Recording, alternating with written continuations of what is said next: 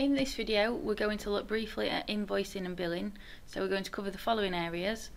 How to amend your tax and currency settings, how to attach payment details to an invoice, how to generate an invoice from a quote, and how to send online payment requests via PayPal. Firstly, you need to amend your tax settings, so to do this just go to settings under CRM and then select taxes.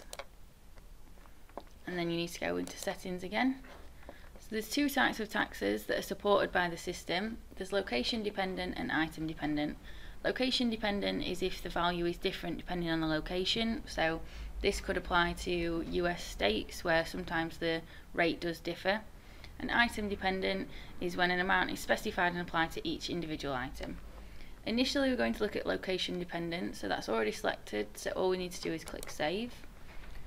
What you need to do first of all is set your location. So to do this, you go back into your settings and then just select location. So you can see we've already got some set up on the system because it is a demo site, but to add another one, you just need to click add. You just need to fill in a few details on this screen. So the type, which is country, and then you need to fill in the name. And then if you just click save at the bottom, once you've set your location up, what you then need to do um, is set your tax rate. So to do this, go back into your settings, then into taxes. So if we click add tax, and then you just fill in a few details here, and then click save. And then you need to go back into it to actually set your rate. So if you click on tax rates on the tab, and add tax rate. Here you can set the rate that's going to be applied, the client type, so what the rate will be applied on, and then your location. So your client type, we're going to select company, put your rate in, and then what you can also do is select whether it's going to be included in the price or not. You just do the tick box. Then what you need to do is find your location. So you can see it comes up below, so if you just click that, and then to select it, just click that button to bring it over there and then just click save. So what that means is we've set the location and we've set the rate that's going to be applied. So now we'll look at item dependent. So if you go back into your settings and back into taxes, settings again just to switch it over. So because it's item dependent you don't need to set a location, you can just straight away add your VAT rate. To do that, just name it whatever you want to name it if we say 20% and then just put your rate in there as well. And then click save. And that's your rate set up. So now we'll look at how to attach payment details to an invoice. So you just need to go back into settings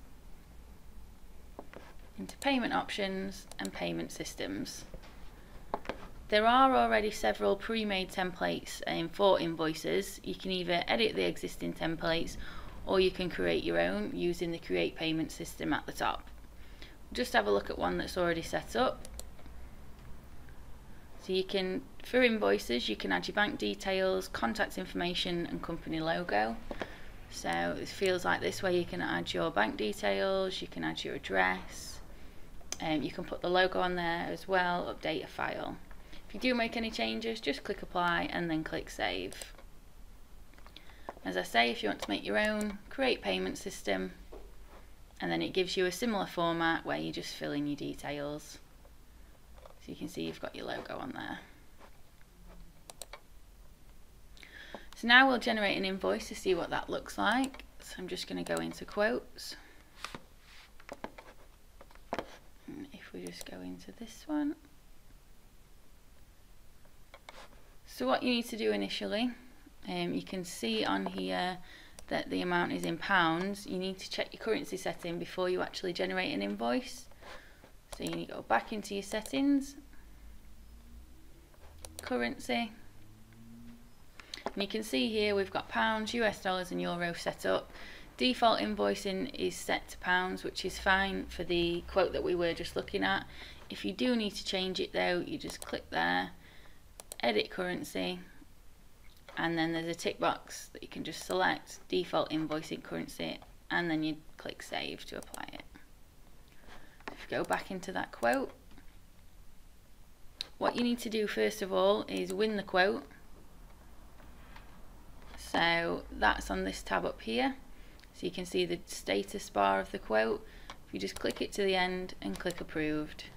And then what you can do is generate invoice. So once you select that, it'll automatically generate an invoice for you. If we just download that just to have a look at it.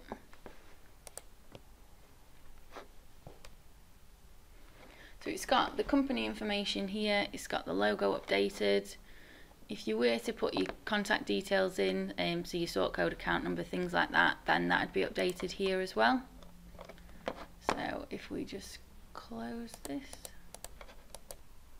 You might have also noticed there's now an invoice link. This is the integration with PayPal. So if you click on it, gives you the option to copy a link. If you send that to your customers and they follow it, it then takes them to PayPal's website where they can pay the invoice straight away.